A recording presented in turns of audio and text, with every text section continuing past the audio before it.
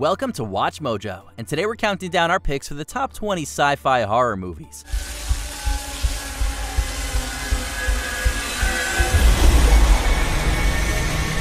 For this list, we'll be ranking the most frighteningly successful hybrids of science fiction and horror. What's your all time favorite? Let us know in the comments. Number 20, The Blob. The Blob is one of those classic movie monsters that's not mentioned often when it comes to vintage creatures from the silver screen. That's kind of a shame because this gelatinous alien has made quite an impact over the course of its cinematic history. The 1958 original, in particular, was notable for serving as an early starring vehicle for Steve McQueen, despite the latter's um, advanced age for playing a teenager. Dave, make them listen to me. There is a monster. We saw it again in Dad's store. Dave, it's bigger now. Your story's gotten bigger now, kid. Meanwhile, the 1988 remake serves as one of the most effective examples ever of how to reimagine a classic with amped up violence and special effects. Heck, The Blob was even played up for laughs in 1972 with Beware the Blob, also known as Son of Blob. Who knew interstellar slime could reproduce? No, man, he's not kidding. There's something behind you. Now, are you gonna come out, or do I have to come in and get you? Look out! Number 19, Cloverfield. The advanced marketing that went into the promotion of Cloverfield in 2008 did wonders for helping to create a mini cinematic universe for director Matt Reeves and producer J.J. Abrams. Run, run, run, run! Run! The film dishes out equal doses of classic monster movie tropes and science fiction, all the while employing the found footage style of filmmaking popular at the time. Sure, the shaky cam and first person POV doesn't always come across as believable during an alien invasion, but the chaotic tension and unpredictable violence that occurs more than makes up for these faults. And at the end, Cloverfield feels like the start of something special, with a fresh perspective on an old genre.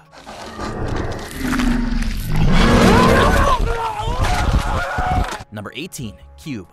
Claustrophobia can do wonders for creating horror movie magic. The Hole from 2001 made great use out of its nuclear fallout shelter setting, while 1997's Cube gets practically mathematical with its relentless puzzle solving. This room moves to 0, 1, and negative 1 on the x axis, 2, 5, and negative 7 on y, and 1, negative 1, and 0 on z. What does that mean?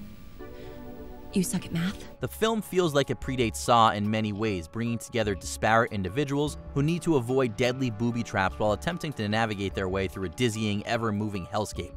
The CGI effects are admittedly dated, but there aren't a lot of them, with Cube instead focusing on creating relentless tension and even making some sly social commentary. It's all the same machine, right?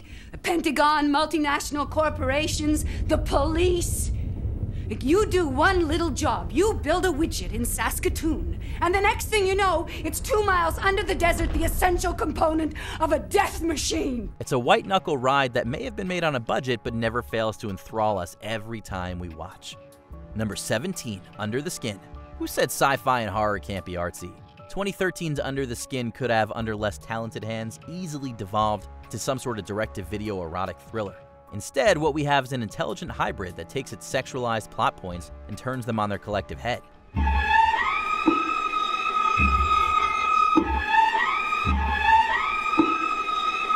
The tale of a seductive alien luring men to their doom isn't portrayed in a prurient manner, but instead possesses a tinge of melancholy to go along with the surreal violence. Scarlett Johansson is wonderful in the lead role and presents her killer alien with a level of emotional pathos and even tragedy, making Under the Skin definitely feel like more than the sum of its parts.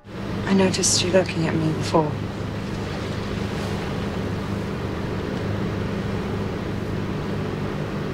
And? I liked it. Number 16, Sunshine. The cinema of Danny Boyle is nothing if not diverse, with the director being responsible for acclaimed films. 2007's Sunshine was something a bit different from Boyle, however, a slice of heady, hard sci fi that feels very much indebted to the more cerebral examples from the 1970s. Good dream?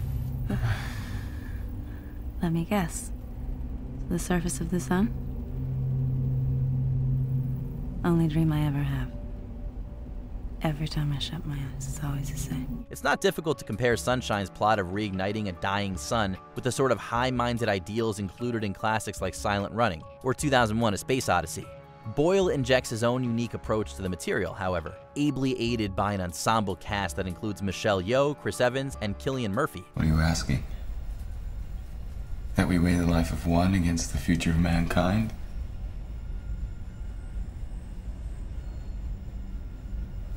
Consider this one an underrated gem. Number 15, A Quiet Place. The world of horror cinema felt like it was reaching a renaissance during the late 2010s, with fresh names and new auteurs entering the genre to offer up a little prestige. A Quiet Place felt like one of those films, a hit directed by Office star John Krasinski that feels in line with the work of directors like Robert Eggers, Ari Aster, and Jordan Peele. It's okay. You're safe. They can't hear us. At the same time, Krasinski's film, in which he also stars, feels more indebted to classic monster movies than its contemporaries, and this succeeds in assisting A Quiet Place to deviate from the pack. The strong performances and real emotional heart also help the film in representing the sci fi and horror genres for a new generation.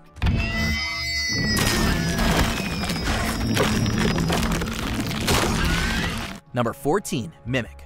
We've mentioned monster movies a lot thus far in our list, and that would make the director of this next film very happy. That's because Guillermo del Toro is an unabashed student of the game when it comes to horror history, a fact that felt vital even in the filmmaker's early work such as 1997's Mimic.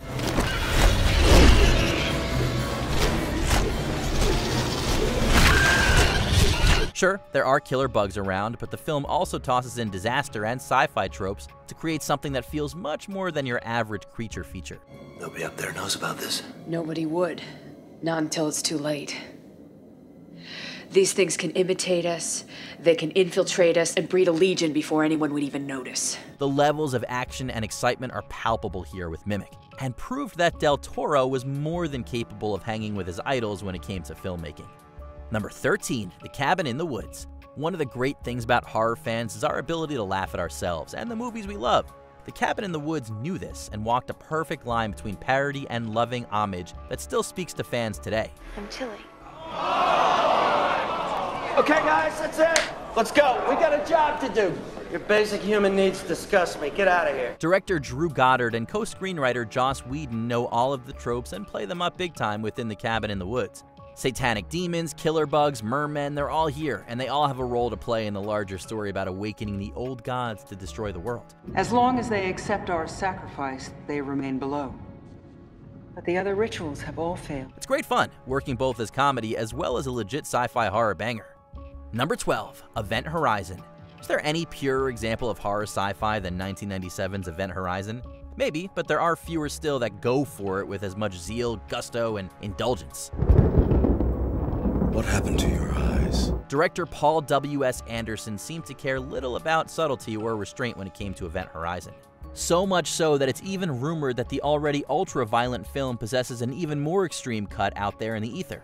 This is impressive because Event Horizon, even in its home video form, is seriously intent on combining the space horror of Alien with the sort of demonic imagery one would see in a Hellraiser film. It's truly the stuff of nightmares. From hell. You don't believe in that kind of stuff, do you? Whoever sent that message, he sure believes in hell. Number 11, Altered States. Freaky, spaced out psychedelia, thy name is Altered States.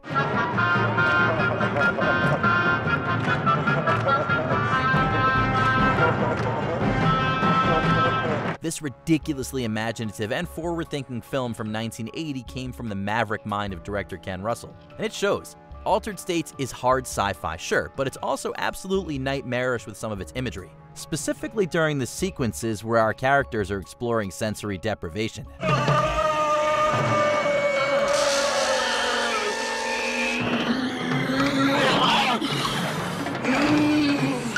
Mind expanding chemicals certainly aren't required to enjoy Russell's film, but Altered States almost feels like an intoxicant in and of itself. So surreal, creepy, and unsettling are the final results. This one truly sits in a class all its own. Number 10, The Invisible Man.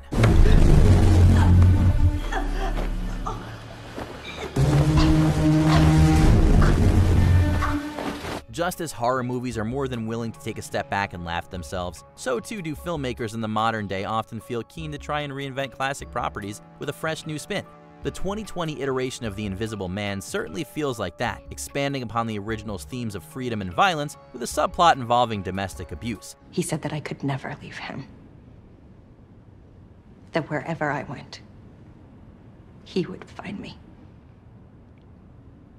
That he would walk right up to me and I wouldn't be able to see him. This invisible man doesn't only fall victim to the aggressive temptations offered by his new condition, he's actually pretty terrible before his physical change. Although this decreases the tragedy a bit, our new Invisible Man film also saw star Elisabeth Moss absolutely deliver the goods with a standout performance. You're just the jellyfish version of him.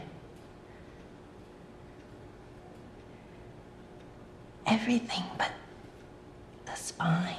Number 9. Tetsuo, the Iron Man. Tetsuo the Iron Man is one of those films that every genre fan should see once, if only for the levels of extremity put up there on the screen. This is because plot-wise, there really isn't a lot to chew on with Tetsuo, but that's not really the point. The point is to awe and marvel at the film's transgressive nature, and to squirm as every button is pushed, and all the boundaries are washed away like the tide.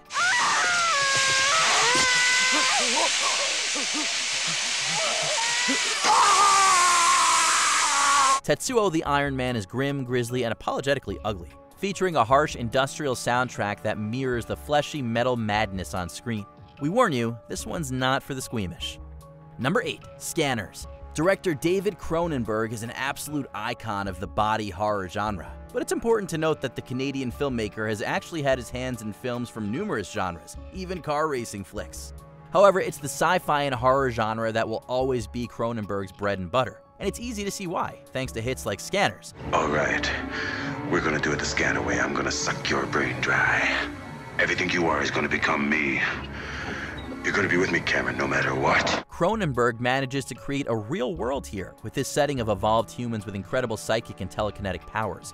These scanners are able to do incredible things with these powers, including a head explosion that's gone down in the annals of cinema history. Beyond this, however, Scanners just has perfect pacing, performances, and special effects, top to bottom.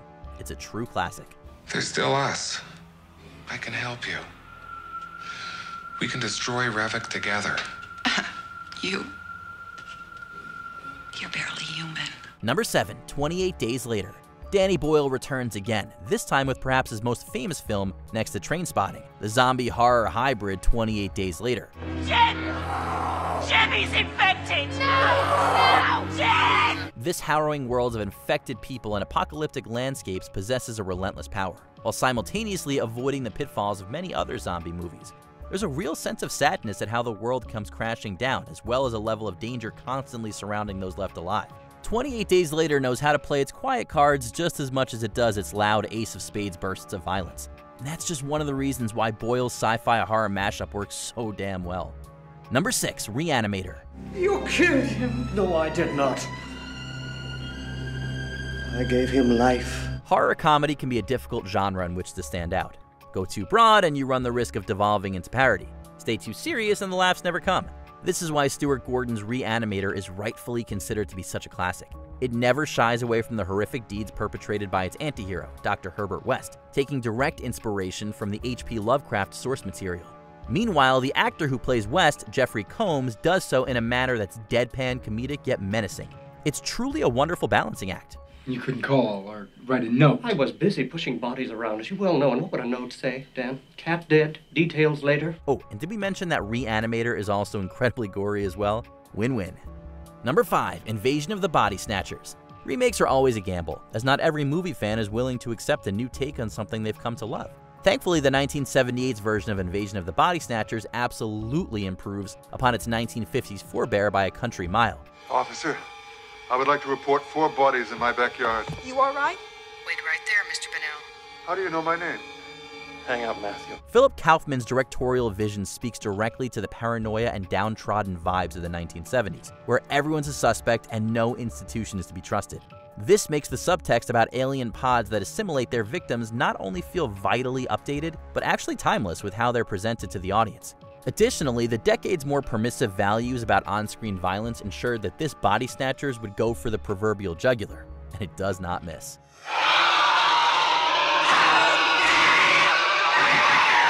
Number 4. The Thing.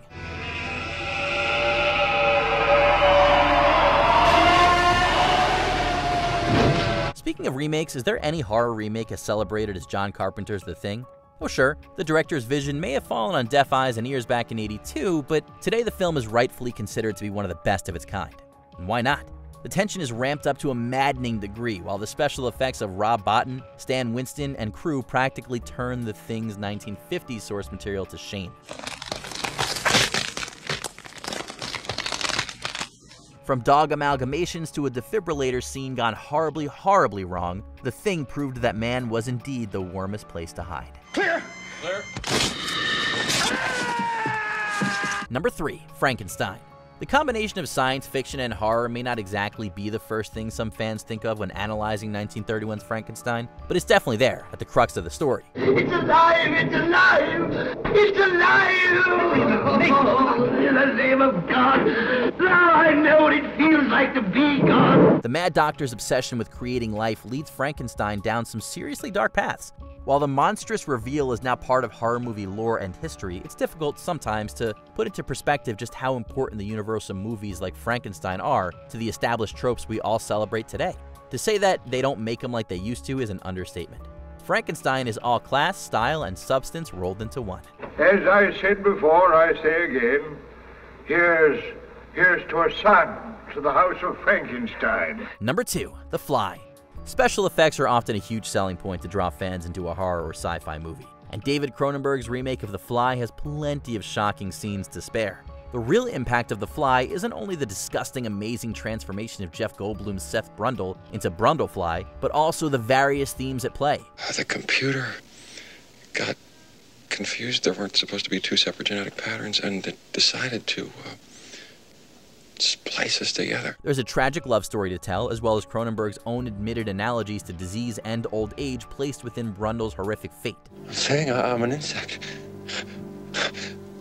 who dreamt he was a man and loved it.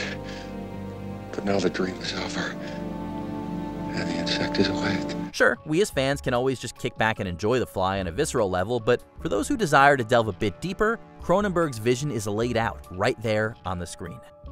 Before we continue, be sure to subscribe to our channel and ring the bell to get notified about our latest videos. You have the option to be notified for occasional videos or all of them. If you're on your phone, make sure you go into your settings and switch on notifications. Number 1. Alien.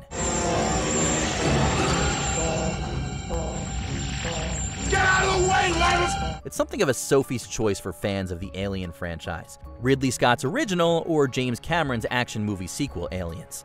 Both are amazing slices of science fiction cinema, but only the OG from 79 possesses the power of fear and the strength to shock so many years later.